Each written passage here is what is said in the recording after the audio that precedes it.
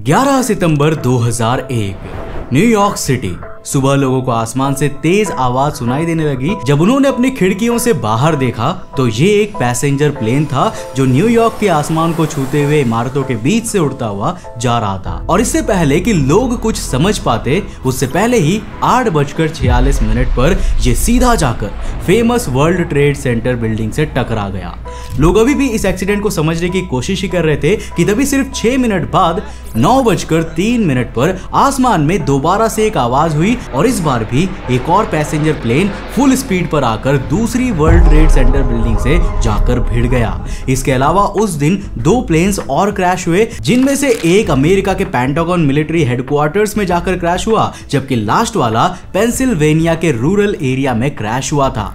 ये था इतिहास का सबसे बड़ा टेररिस्ट अटैक जो दुनिया के सबसे ताकतवर देश, यानी कि अमेरिका पर टेररिस्ट ऑर्गेनाइजेशन अल कायदा द्वारा किया गया था। जिस टेररिस्ट अटैक में 6000 से लेकर 25000 से ज़्यादा लोग इंजर्ड हुए थे, और ऑलमोस्ट 3000 की डेथ हो गई थी और अमेरिका को 33 से 36 बिलियन डॉलर्स का नुकसान हुआ था।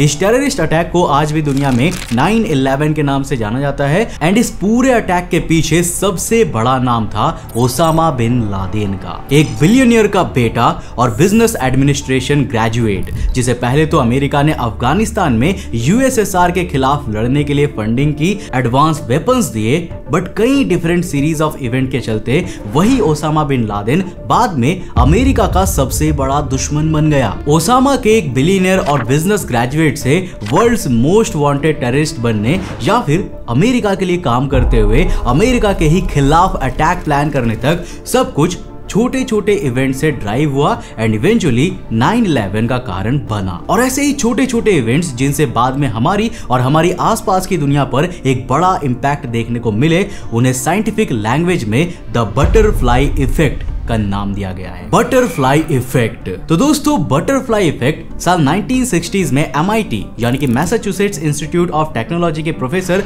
एडवर्ड लॉरेंस द्वारा दी गई केओस थियोरी का कॉन्सेप्ट है, जिसके मुताबिक कई स्मॉल इवेंट्स जिन्हें हम इग्नोर कर देते हैं ना, वो बाद में एक रिज़ल्ट लार्जर कॉन्सिक्वेंस का कारण बनता है, जिसे एक्सप्लेन करने के लिए सबसे ज़्यादा बटरफ्लाई का एग्ज़ाम्पल दिया जाता है। जिसके नाम पर इस कॉन्सेप्ट का नाम भी पड़ा है। अब इस एग्ज़ाम्पल के मुताबिक एक छोटी बटरफ्लाई के अपने पंख को फड़फड़ाने से भी दूर कहीं एक बड़ा तूफ़ान आ सकता है। इस पर एक फ़ेमस मूवी बनी है, जिसका नाम है द बटरफ्लाई इफ़ेक्ट जिसमें दिखाया गया है कि कैसे लाइफ में किए गए स्मॉल चेंजेस हमारे पूरे फ्यूचर को बदल कर रख सकते हैं। वैसे बटरफ्लाई इफ़ेक्ट केवल थियरीज और मूवीज़ तक ही सीमित नहीं है, बल्कि ये हमारी डे टू डे लाइफ को भी इफ़ेक्ट करता है। अब इसका रियल लाइफ इफ़ेक्ट जो हम मेजर कर पाते हैं, वो हमें सबसे ज़्यादा वेदर पैटर्न में देखने को मिलता है, जहाँ प्रेशर एंड टेम्परेचर में थोड़े से चेंज का रिज़ल्ट कई बार एक बड़े ड्रामेटिक वेदर चेंज के रूप में देखने को मिलता है। इसीलिए वेदर फोरकास्टिंग के समय हर छोटी से छोटी डिटेल को भी सिम्युलेशन में ऐड किया जाता है। सो जैसा कि मैंने वीडियो के शुरुआत में ही कहा कि कई स्मॉल चेंजेस का रिज़ल्ट 9/11 अटैक भी हो सकता है, या फिर साल 1914 में ऑस्ट्रिया के एक उत्तराधिकारी की गोली मारने से हुई हत्या से ह्यूमन हिस्ट्री की सबसे बड़ी वर्ल्ड वॉर वन की शुरुआत हुई जिसने मिलियंस ऑफ़ लोगों की जान ले ली। अब इन सभी इवेंट्स में हमें बटरफ्लाई इफ़ेक्ट देखने को मिलते हैं, जहाँ कई स्मॉल चेंजेस ने पूरी दुनिया की हिस्ट्री बदल कर रख दी थी। साल 1950 में एलन ट्यूरिंग ने बटरफ्लाई इफ़ेक्ट को एक्सप्लेन करते हुए लिखा था कि किसी एक पल में एक सेंटीमीटर के अरबवे छोटे भाग में भी एक इलेक्ट्रॉन के थोड़े से डिस्प्लेसमेंट से, एक साल बाद किसी इंसान के एवेलांस से मारे जाने या फिर बचकर निकलने का डिफरेंस तय हो सकता है। इन शॉर्ट लाइफ कितनी अनप्रिडिक्टेबल है, इसका अंदाज़ा लगाना भी पॉसिबल नहीं है। किसी और की लाइफ का बटरफ्लाई इफ़ेक्ट आपकी लाइफ और आपके परिवार की लाइफ में कब तूफ़ान बनकर आ जाए, आप इसका अंदाज़ा भी नहीं लगा सकते। या फिर कब आपका ही कोई डिसीज़न आपकी लाइफ को डेंजर में डाल दे और आपकी जान तक ले ले, इसका अंदाज़ा लगाना भी पॉसिबल नहीं है। और वैसे भी हम जो ज़िंदगी जी रहे हैं ना, वो किसी करिश्मे से कम नहीं है। क्योंकि अकॉर्डिंग टू साइंस आपकी या मेरी इन शॉर्ट हमारी एग्जिस्टेंस की probability possibility one in a ten to point seven million है। नाउ आई डोंट नो इसे प्रोनाउंस कैसे करूँ बट नंबर जो आप अपनी स्क्रीन पर देख सकते हैं ना, अब जो इस नंबर की सीरियसनेस को नहीं समझे ना, उन्हें मैं बता दूँ कि इसमें 10 के पीछे ऑलमोस्ट 2.7 मिलियन जीरोस है। और अगर आपको अभी भी ये नंबर छोटा लग रहा है तो ये भी जान लो कि हमारे पूरे यूनिवर्स में टोटल एटम्स का नंबर ही 10 टू दावर 80 है, जो दिखाता है कि हमारी ये लाइफ कितनी ज़्यादा रेयर है। बट ये लाइफ आपके और मेरे पास कब तक है? नाउ आई नो इसका आंसर ना आपके पास है और ना ही मेरे पास। इन शॉर्ट इसकी कोई गारंटी नहीं है कि आज आप ज़िंदा है तो कल भी आप ज़िंदा होंगे। वैसे भी आजकल लाइफ इतनी अनसर्टेनिटी से भरी होती है कि कब क्या हो जाए, किसी को कुछ पता ही नहीं होता। पर क्या आपने कभी ये सोचा है कि अगर आपको कुछ हुआ तो उस सिचुएशन में आप पर डिपेंडेंट आपकी फैमिली का क्या होगा? ऐसी सिचुएशन में जहाँ आपकी पूरी फैमिली यानी कि आपके मॉम डैड अगर शादी हो गई है तो आपकी वाइफ और अगर बच्चे हैं तो उनकी एजुकेशन ऊपर से अगर आपने होम लोन या कार लोन लिया हुआ है तो ये सब आपकी मंथली सैलरी पर डिपेंडेंट होते हैं। और अगर इसी दौरान खुदा ना खास्ता आपके साथ कुछ बुरा हो जाए तो अब ऐसा कोई नहीं होगा जो आपकी फैमिली और आपके बच्चे के फ्यूचर का ध्यान रख सके। भला आपके अलावा आपके परिवार के लिए कोई थोड़ी ना इतना कुछ करेगा? ऐसे में आखिर वो कैसे सर्वाइव करेंगे? आपके बिना आपके घर की मंथली हैवी ईएमआई आपके बच्चों की स्कूल फ़ीस आपके पेरेंट्स और वाइफ के एक्सपेंसेस कैसे मैनेज होंगे?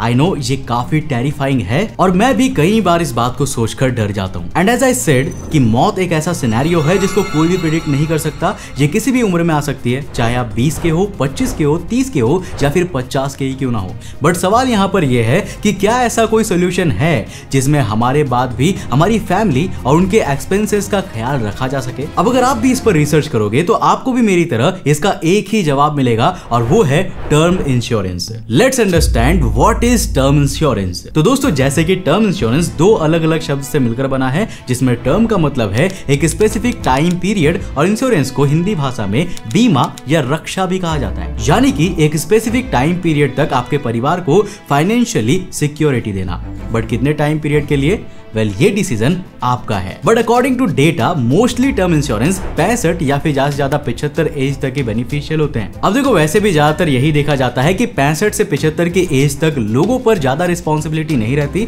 क्योंकि इस पॉइंट ऑफ़ टाइम तक बच्चे भी इतने बड़े और केपेबल हो जाते हैं कि वो खुद अपनी अर्निंग से अपनी लाइफ को आगे बढ़ा सके। इसलिए मोस्टली इस टाइम पीरियड पर आप उनका नहीं, बल्कि वो आपका ख्याल रख रहे होंगे। पर उससे पहले तक उन्हें आपके प्यार और आपके फाइनेंशियल सपोर्ट की ज़रूरत होती है, जो कि आपके जीते जीते उनको मिल ही रहा है। लेकिन आपके ना होने पर भी एक टर्म इंश्योरेंस ये इंश्योर करेगा कि आपके जाने के बाद आपकी फैमिली सर्वाइवल के लिए परेशान ना हो, आपके माता पिता को अपना बुढ़ापे का जीवन जीने में परेशानी ना हो, और अगर आपकी शादी हो चुकी है तो आपकी वाइफ और आपके किड्स को आपके बिना फाइनेंशियल प्रॉब्लम्स का सामना ना करना पड़े। बट देखो रियलिटी तो यह है की आज भी बहुत से इंडियंस टर्म इंश्योरेंस के बेनिफिट को नहीं समझते एंड इसका खामियाजा उनके बाद उनकी फैमिली को उठाना पड़ता है। पर अब आपके मन में एक सवाल होगा कि how will term insurance secure my family's future तो इसके लिए पहले आपको डिसाइड करना होगा कि आपको कितने इंश्योरेंस कवर की ज़रूरत है। देखो नंबर ऐसा होना चाहिए जो आपकी सभी एग्जिस्टिंग लाइबिलिटीज को पूरा करे और उस अमाउंट से आपकी फैमिली आपके बिना भी अपने एक्सपेंसेस 15 से 20 साल तक अफोर्ड कर सके।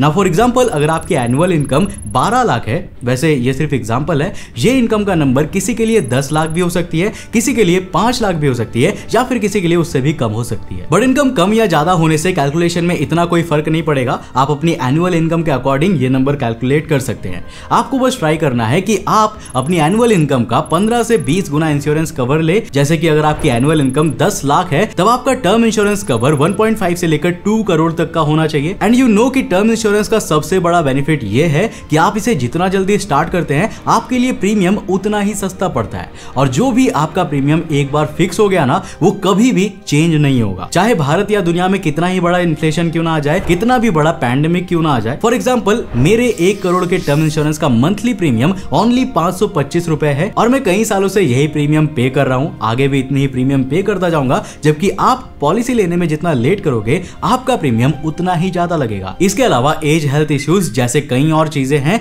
जिनके कारण आपके प्रीमियम की अमाउंट ऊपर नीचे हो सकती है, जिसे आप पॉलिसी बाज़ार पर भी जाकर कंपेयर कर सकते हैं। अब जैसे कि जब मैं पॉलिसी बाज़ार पर जाकर वहाँ पर टर्म इंश्योरेंस सिलेक्ट करता हूँ तो मेरे सामने कुछ ऑप्शंस आते हैं, जिसमें मेरी salary and qualification related questions पूछे जाते हैं, जिन्हें आप अपनी प्रोफ़ाइल के मुताबिक आंसर दे सकते हैं। अब यहाँ पर मेरे सामने अलग अलग कंपनी के टर्म इंश्योरेंस प्लान आते हैं, जहाँ मुझे एक करोड़ का टर्म इंश्योरेंस केवल पाँच रुपए हर मंथ के प्रीमियम पर मिलता है। बट मेरा यहाँ पर यही सजेशन है कि आप अपनी हेल्थ से रिलेटेड क्वेश्चंस के बारे में बिल्कुल ऑनेस्ट रहें। इसलिए मेरा सबसे अच्छा सजेशन यही होगा कि आप इसके लिए सीधा टर्म इंश्योरेंस लेते वक्त पॉलिसी बाज़ार के रिप्रेजेंटेटिव से कॉल पर बात कर ले, जो आपके हर एक सवाल का जवाब देंगे। और अब आती है सबसे इंपॉर्टेंट क्वेश्चन की बारी। Why should you buy term insurance online rather than offline देखो ऑनलाइन टर्म इंश्योरेंस लेने के कई बेनिफिट है, जिसका सबसे बड़ा बेनिफिट तो यह है कि यहाँ आप ऑफलाइन एजेंट्स की चिकनी चुपड़ी बातों में आए बिना पॉलिसी बाज़ार पर कई अलग अलग कंपनी के टर्म इंश्योरेंस प्लान को कंपेयर कर सकते हैं। ऑल्सो आपको यहाँ पर 10% का डिस्काउंट भी देखने को मिल जाता है, जिससे आपका पॉलिसी लेते वक्त प्रीमियम अमाउंट कम हो जाता है। अब वैसे भी पॉलिसी बाज़ार पर सभी रेप्यूटेड ब्रांड ही लिस्टेड होते हैं और इतने सेफ़ ऑप्शन आपको ऑफलाइन नहीं मिलने वाले। ऊपर से देखो पॉलिसी बाज़ार के बजाय अगर किसी इंडिविजुअल से आप ऑफलाइन टर्म इंश्योरेंस लेते हैं तो इसकी कोई गारंटी नहीं है कि आपका प्रीमियम पॉलिसी में जा भी रहा है या उसके जेब में जा रहा है। बट पॉलिसी बाज़ार में आपको इस तरह की चिंता लेने की कोई ज़रूरत नहीं है, क्योंकि यहाँ पर आपके और आपके एजेंट के बीच की कॉल्स को सिक्योरिटी के लिए रिकॉर्ड रिकॉर्ड किया जाता है। ऑनलाइन टर्म इंश्योरेंस लेने का सबसे बड़ा बेनिफिट यह है कि पॉलिसी बाज़ार पर आपको काफ़ी लो प्रीमियम मिल जाते हैं। ऊपर से वुमेन्स के लिए यहाँ और भी अच्छे प्लान देखने को मिल जाते हैं। And lastly online term insurance लेना ऑफलाइन के मुकाबले काफ़ी इजी और सेफ़ होता है जिसमें आप खुद अपने टर्म इंश्योरेंस पॉलिसी का फॉर्म भरते हैं। ऐसे में आप मेक श्योर sure कर सकते हैं कि आपकी ज़रूरत के मुताबिक सभी बॉक्सेस चेक हो। सो so, अगर आपको अपनी फैमिली की सिक्योरिटी के लिए टर्म इंश्योरेंस लेना है तो आप डिस्क्रिप्शन में और पिंड कमेंट में दिए हुए पॉलिसी बाज़ार के लिंक पर जाकर वहाँ पर अलग अलग कंपनीज़ के टर्म इंश्योरेंस को कंपेयर करते हुए अपनी ज़रूरत के हिसाब से